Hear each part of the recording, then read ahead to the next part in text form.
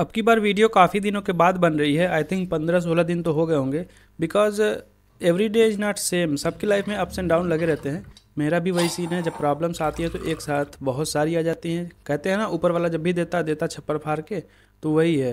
बहुत सारी प्रॉब्लम एक साथ आ जाती हैं, वो भी बिना बुलाए। That's why I was not able to make the blog मैंने सोचा खुद को स्टेबल करो, फिर वीडियो बनाएँगे, क्योंकि यूट्यूब पे आके रोने से कोई फ़ायदा है नहीं। और वीडियो शूट कर भी नहीं सकता था, क्योंकि मोबाइल डैमेज हो गई थी। एप्पल वाले यार मस्त चूना लगा रहे हैं भाई। सॉफ्टवेयर दे रहे हैं अपडेट करने को अपडेट करते ही डिस्प्ले चली जा रही है। और डिस्प्ले चेंज कराने का कॉस्ट इतना है कि जितने की मुर्गी नहीं उससे ज़्यादा मसाला लग जा रहा है भाई। क्या फ़ायदा है ऐसे मुर्गी का?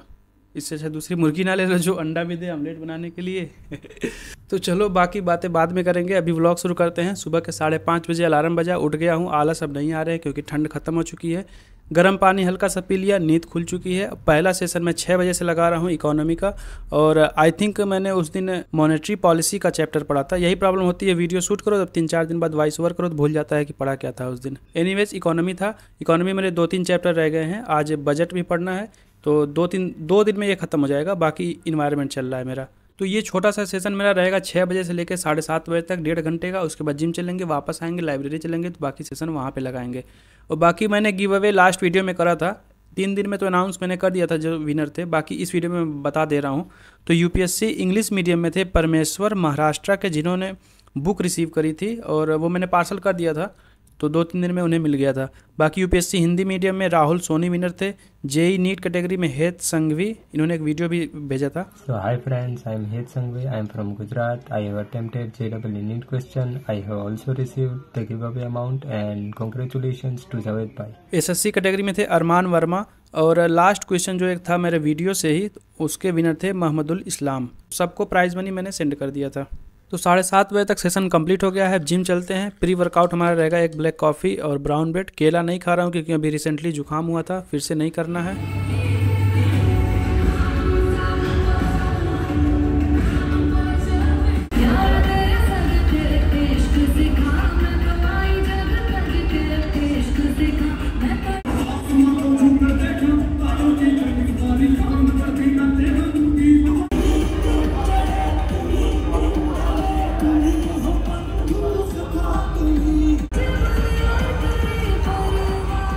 नौ बजे तक एक्सरसाइज कंप्लीट करने के बाद हम सब लोग चले गए थे जूस पीने के लिए, अनार का जूस और उसके बाद वापस आते टाइम मैंने नाश्ता बनाने के लिए सामान लिया ब्राउन ब्रेड और तीन अंडे।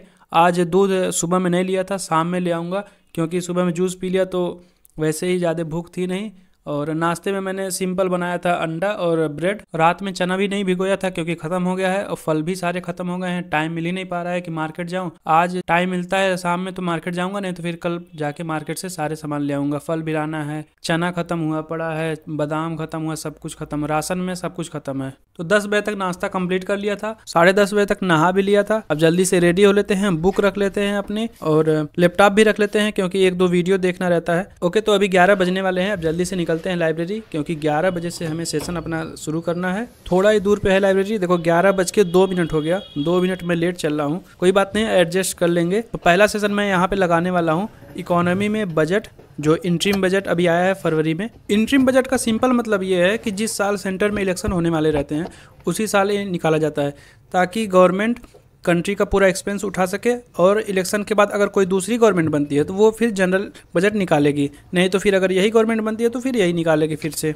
तो बजट का मैं ये समरी देख रहा था, कुछ हाईलाइट पॉइंट्स में देख रहा था यूट्यूब पे, ताकि बेटर अंडरस्टैंडिंग हो सके। उसके बाद फिर मैं अपना सेशन स्टार्ट किया ग्यारह बज के पंद्रह बीस मिनट से, और ये एक घंटा, सवा घंटा लगेगा। दस बारह पेजेस की ये एक बुक है करोल बाग से ले आया था आई थिंक दस बीस रुपये का था। विजन आई का ये समरी है। तो इसे जल्दी से कंप्लीट कर लेते हैं, उसके बाद फिर अपना नेक्स्ट सेशन लगाएँगे। तो दिशा पब्लिकेशन की तरफ़ से एक बुक आई है, उसे जल्दी से रिव्यू कर लेते हैं। तो ये है दिशा पब्लिकेशन की 101 speed test on new pattern UPSC IAS prelims के जीएस पेपर वन। यह बुक तीन पार्ट में डिवाइडेड है। फ़र्स्ट पार्ट में नाइन सेक्शन है, जैसे कि history, geography, polity, economy, general science science and tech, environment, general awareness and current affair. And these are further divided in ninety two topics. सभी test new pattern, MCQs and MSQs form में दिए गए हैं। Part two में nine sectional test है and part three में में two full length GS के टेस्ट दिए हैं। इस बुक में टोटल 2200 प्लस क्वेश्चन दिए गए हैं in the form of 101 test जिसे सॉल्व करने से स्पीड बढ़ेगी स्ट्राइक रेट भी बढ़ेगा और एट द एंड स्कोर में भी इम्प्रूवमेंट होगी।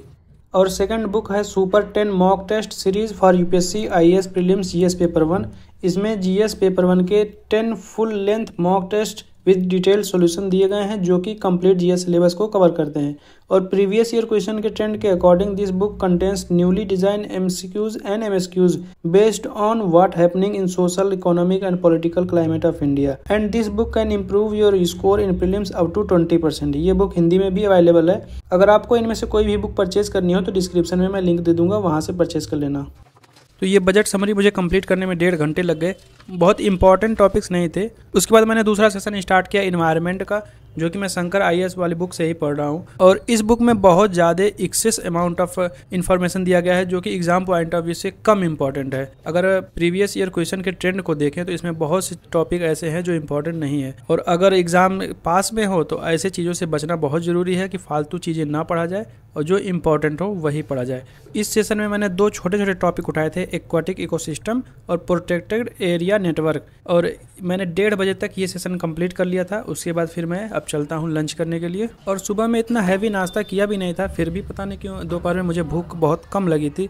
इसलिए मैंने कहा पूरे खाना नहीं लगाओ, सिर्फ़ एक सिंपल एक पराठा, थोड़ी सी सब्ज़ी लगा दो बस। आधे घंटे का ही लंच ब्रेक था। डेढ़ बजे से लेकर दो बजे तक मैं लंच कंप्लीट कर लिया। उसके बाद वापस फिर आ गया लाइब्रेरी में। और अब यहाँ पे हम अपना सेकेंड सेशन लगाएँगे। और ये लंबा सेशन रहेगा लाइक दो बजे से लेके पाँच बजे तक ऑलमोस्ट तो इस सेशन में मैंने दो बड़े बड़े टॉपिक चूज़ करे थे। पहला था बायोडाइवर्सिटी दूसरा था क्लाइमेट चेंज ये दोनों बड़े बड़े टॉपिक हैं, इसमें ढाई तीन घंटे तो लग ही जाएँगे। ओके तो अभी लाइब्रेरी की बात करें तो मैंने ये लाइब्रेरी छोड़ दिया था। ये पुरानी वाली लाइब्रेरी ही है, लेकिन सीट दूसरी है। मैंने बहुत से लाइब्रेरी देखे थे, लेकिन जो अच्छी लाइब्रेरी है, वहाँ पे सीट खाली नहीं है। और जो ट्रैफ़िक का नॉइज़ जहाँ पे आता है लाइक रोड के किनारे ही है, वहाँ पे खाली है। और एक लाइब्रेरी तो मेरे जिम के ऊपर ही चलती है। तो वहाँ पे प्रॉब्लम ये था कि सुबह शाम जब जिम चालू रहता है तो नीचे गाना सब बजाते हैं कि बेबी को बेस पसंद है, ऊपर लाइब्रेरी में हमको बजट पसंद है तो कैसे काम चलेगा? तो इसलिए वहाँ भी नहीं गया। और एक और लाइब्रेरी मैंने देखा था पटेल नगर में, थोड़ा दूर पे था, वहाँ बेसमेंट पे था, वहाँ तो एक दो लोग मुझे पहचान भी रहे थे लाइक यूट्यूब की वजह से। तो वहाँ पे सीन ये था कि वो बेसमेंट पे था नेटवर्क नहीं आ रहा था लाइक अगर कोई इंपॉर्टेंट कॉल हो या इमरजेंसी कॉल हो, वो मिस हो जाएगी, पूरे दिन नहीं आएगी। और सेकंड प्रॉब्लम ये था कि वो बहुत दूर था मेरे रूम से। सुबह में जाओ तो सिर्फ़ शाम में ही वापस आओ। दिन में दोबारा आने की हिम्मत नहीं होगी, इतना दूर था। तो इसीलिए मैं वापस अब पुरानी लाइब्रेरी में आया, यहाँ पे सीट मिल गई और यहाँ पे कंस्ट्रक्शन काम चल रहा था, वो कंप्लीट हो गया है तो यहाँ पे अब कोई प्रॉब्लम नहीं है। तो इसलिए फिर मैंने यहीं पे चूज़ कर लिया। ओके तो पाँच बजे तक ये सेशन हमारा कंप्लीट हो गया था। दोपहर वाली भूख अब शाम में लग रही है, इसलिए चलते हैं रूम पे और दूध भी ले चलते हैं। दूध, ब्रेड खाएँगे और उसके बाद फिर वापस आएँगे। और ये छोटा सा डॉगी मेरे फ़र्स्ट फ्लोर वालों ने पाल रखा है। देखने में तो लगता है ये स्ट्रीट डॉग है, लेकिन है ये कोई ब्रीड का? आई डोंट नो कौन सा ब्रीड है। और ये जब भी मुझे आता देखता है, मेरे पीछे पीछे चला आता है। इसको मैं सुबह शाम दूध भी पिलाता हूँ, अंडे भी खिलाता हूँ। और ये देखो, इसे मीठा दूध पसंद है, ये पी नहीं रहा है। जब इसमें बोन बीटा छोड़ दूँगा तो ये पीना शुरू कर देगा। फिर ये देखो, और जितना पी रहा है, उसे ज़्यादा गिरा रहा है। साफ़ कौन करेगा अभी से पूरे दिन में पंद्रह बीस बार मेरे फ्लोर पे आता है, लेकिन मैं रहता ही नहीं ताला बंद रहता है तो वो चला जाता है बेचारा। क्योंकि जिनका ये डॉगी है, उन्होंने बस खरीद तो लिया है लेकिन उसकी केयर नहीं कर पा रहे हैं। कहते हैं ना, जेब में फूटी कौड़ी नहीं, लेकिन शौक नवाबों वाले, वही सीन है इसका बेचारे का। ओके तो छः बजे तक मैं वापस आ गया लाइब्रेरी में और ये सेशन हमारा रहेगा छः बजे से लेके आठ बजे तक। इसमें अगेन इन्वायरमेंट ही मैं पढ़ने वाला हूँ और इस सेशन में मैंने पढ़ा था इन्वायरमेंट इम्पैक्ट असेसमेंट और दूसरा मैंने पढ़ा था क्लाइमेट चेंज ऑर्गेनाइजेशन उसके बाद मैंने पीवाईक्यू लगाना शुरू किया था।